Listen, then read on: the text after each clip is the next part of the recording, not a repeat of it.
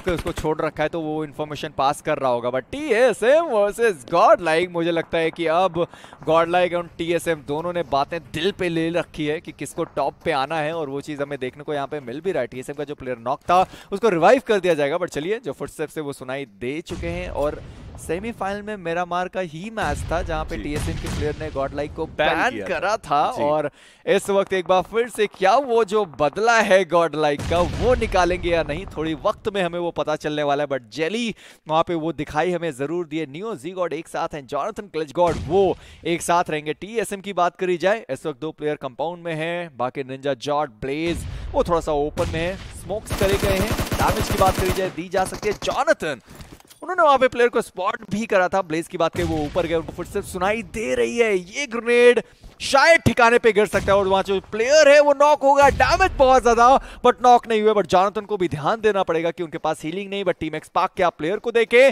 पीछे वो मौजूद है। शायद थर्ड पार्टी के लिए एक बार सोच सकते हैं बट जो दोनों प्लेयर नॉक होते होते बचे हुए इस बार अपने आप को हील करने में कामयाबी पाएँगे। बिल्कुल स्मोक का कवर वहाँ पर मौजूद ज़रूर से रहने वाला है जो टॉप टू टीम से अभी उनके बीच में हमें यहाँ पर फाइट देखने को मिल रही है। नियो एक बहुत ही बढ़िया ऑफ़ गार्ड एंगल उन्होंने क्रिएट किया और अब आगे की तरफ़ जा oh रहे हैं जहाँ से वो स्पॉट कर सकते हैं खिलाड़ी को टीएसएम oh no. कोई आइडिया नहीं कि प्लेयर वहाँ पर मौजूद और आप देखिए व्हीकल बस्ट होगा दो खिलाड़ी डाउन टीएसएम के जॉर्ज जो वो डाउन ऑलरेडी हो चुके हैं और वहाँ पर देखते हैं फ़ैन का इस्तेमाल होगा। ओपन मैथुन को भी स्पॉट किया जाएगा। शैडो वहाँ पर लास्ट मैन स्टैंडिंग है। गॉड लाइक के खिलाड़ी यहाँ पर।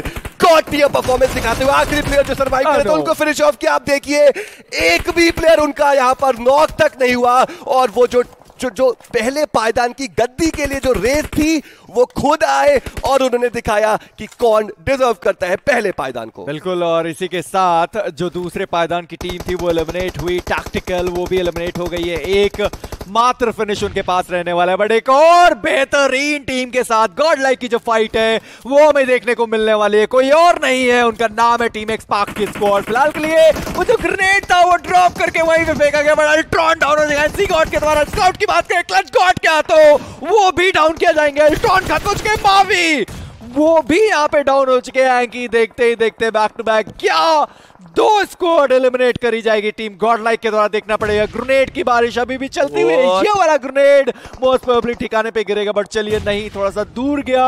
स्काउट डाउन है रिवाइव किया जाएगा गिल के द्वारा बट मुझे जहाँ तक उम्मीद है टीम एक्सपाक का भी सफ़र यहीं पे खत्म हो सकता है क्योंकि अब वो फंस गए पीछे और भी स्कोर उनका इंतज़ार कर रही होगी। ओह my god team god like छह फिनिशर्स वो ऑलरेडी निकाल चुके और अब अगले स्कॉट को वाइप करने की तैयारी। जॉर्डन को आप देखिए क्या बड़ी एंगल उनके पास मौजूद है। स्काउट एंड गिल दो खिलाड़ी यहाँ पर मौजूद व्हीकल लेकर के जाने की कोशिश लेकिन वो डिनाई किया जाएगा।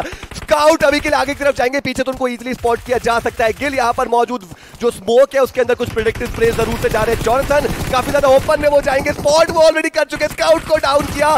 एंड अब गिल जो कि आखिरी तो उनको भी एलिमिनेट किया। टीम गॉड लाइक यहाँ पर अभी के लिए अपना पहला पायदान पूरी